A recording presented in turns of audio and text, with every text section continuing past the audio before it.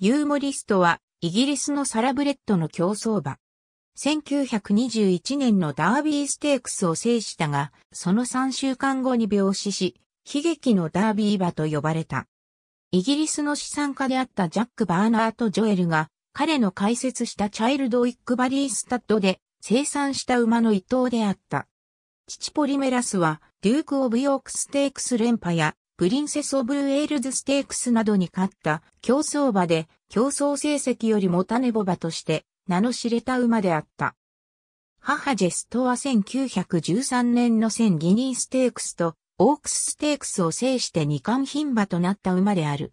セントレジャーステークス優勝馬のであるブラックジェスターの半姉でもあり、ブラックジェスター同様に高い競争能力と、そして希少難を持ち合わせていた。ユーモリストは1918年にジェストの発語として生まれた栗毛の馬で、幅広の縦紙と精悍な顔立ちを持って生まれた。親譲りの高い競争能力も受け継いだが、一方で謹慎に多かった気象の荒さは現れず、逆に賢さと人懐っこくさを合わせ持った誰からも好かれる馬であった。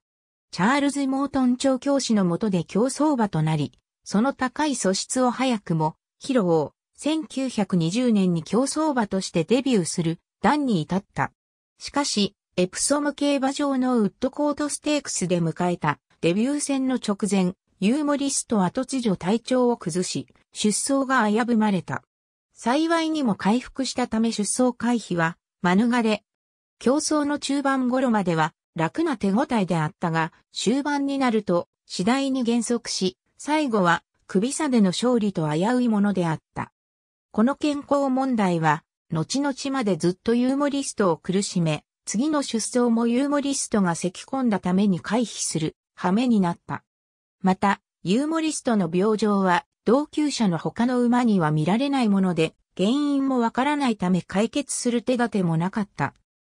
モートンは後に、彼の能力は同じ2歳の中でも一歩先を行くものであったが、彼には何がしかの悪いところがあるように思えて、ならなかった。ある日は何の問題もなく健康で、またある日は出走回避を考えるような状態でと、私は常に困惑させられ続けた。と語っている。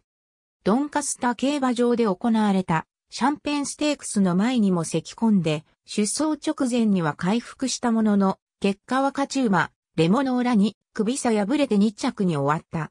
しかし、その後出走したバッケナムステークスとクリアウェルステークスでは体調の問題もなく出走でき、その実力を遺憾なく発揮した。二歳戦の大一番ミドルパークプレートでも会長に走り、勝ち馬モナークから首差で2着に入り、その能力を大いに評価された。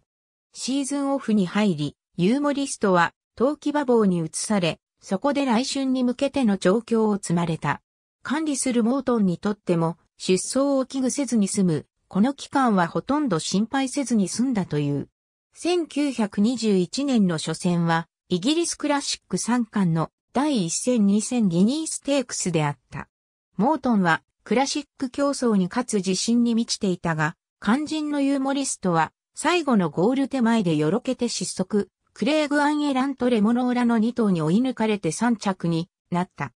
そしてその年の2戦目に迎えたダービーステークスでは、安城にスティーブ・ドナヒューを乗せての出走となった。レースにおいて、ドナヒューはユーモリストを先頭を行く、馬の後ろにピタリとつけて進ませ、タッテナムコーナーの手前まで楽に追走させた。そして、ドナヒューのゴーサインが出ると、ユーモリストは引けるようにゴールへと駆け出していった。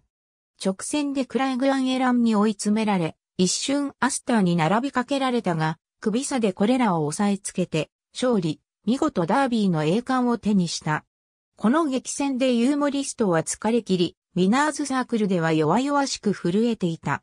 モートンはエプソム競馬場内で一晩を過ごす準備をさせて、宿泊、翌日にモートンの厩舎があるバークシャーのワンテージに戻った。その後、ユーモリストが競馬場に戻ってくることはなかった。ダービーの後、ある日ユーモリストは微出血が出たため、調教を取りやめて厩舎に戻った。その後の晴れた日の午後、ユーモリストは画家、アルフレッド・マニングスの依頼により、ポーズをとっていたが、それが終わった後に、馬房で血を流して死んでいるのが発見された。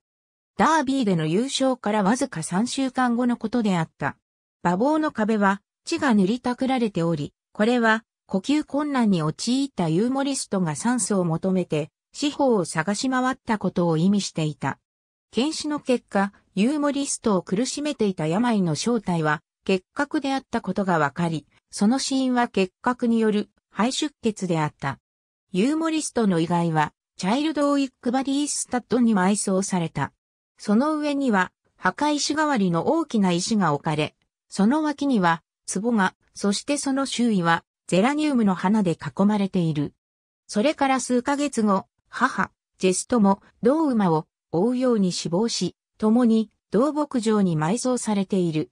当時は、グループ制未導入1920年5戦3勝、ウッドコートステークス、バッケナムステークス、クリアウェールステークス2着、シャンペンステークス、ミドルパークプレート1921年2戦1勝、ダービーステークス3着から2000ギニーステークス。ありがとうございます。